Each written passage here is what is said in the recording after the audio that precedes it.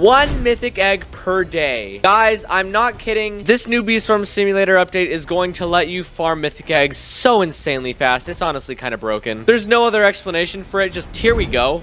Alright, so starting off the way you'd get it, yeah. So you know Onett released the leaderboards, right? And so a couple of the leaderboards have rewards. Like the Daily Top Honey Makers get this Golden Swirl sticker. And the Nectar Collectors get this Dapper Bear sticker. Well, for some reason, Onett decided to add the most overpowered reward. And it's honestly one of the easiest rewards to get. So if you go to view leaderboards right now, scroll all the way to the bottom, Daily Top Memory Matchers. And if we actually click on it, as you can see, yeah, the Daily Top 100 get a mythic egg. Are you serious? Guys, guys, literally all you have to do, this is the simplest thing, and the best thing is that no one is gonna think to do it. You just use every single memory match. This one has a two hour cooldown. You simply go over, see we got Royal Jelly, boom, that's one match, that's two matches, that's already two matches. Then you head over here to this memory match, that's three total matches. Oh, would you look at that, you can get stickers. That's four total matches. Then you walk over to this one, that's six total matches. And then we just quickly use a night Bell, and for some reason the moons are broken for me. What? Why are the moons not spawning? Well, in simple, we would have done that memory match and gotten eight total matches, which if you didn't know, sticks us on the leaderboard. There we are. Do you guys realize how easy that was? That took five minutes, and we're already on our way to getting a mythic egg. I don't want to reveal the overpowered strategy for when the update comes out, so that way people aren't crazy farming mythic eggs, but the strategy is kind of obvious. Yeah, this is kind of overpowered. Maybe Onett's gonna nerf this in the future, but as of right now, as long long as you're just logging in and doing your memory matches and outplaying everyone else that plays Bee Swarm Simulator, you just get a mythic egg every single day. Onett, this is so overpowered. Now keep in mind, other people have the same idea as you, so it's probably going to be a lot harder than you think because while you're going to be doing the memory matches every single day, so is everybody else. So it's actually going to get kind of competitive. But when it boils down to it, it's not that much work. And no matter what happens, Onett's going to be dishing out 100 mythic eggs a day no matter what. So there wasn't really too much point to this video. I just wanted to cover the fact that you can can now average 30 mythic eggs a month. Hashtag it's now the best way to farm mythic eggs. So thank you so much for watching. More game-breaking glitches coming in the future videos. I'm kind of joking, but also kind of serious. Who knows? Maybe Onett will nerf this. But if you appreciated me telling you guys this information, I would really appreciate it if you guys could just simply get me to 48,000 subscribers by the end of tomorrow. It'd mean a lot to me as I do find this information for you guys. And with that said, thank you so much for watching and I will see you all in the next video. Also Onett, you need to fix the moons. They're not working.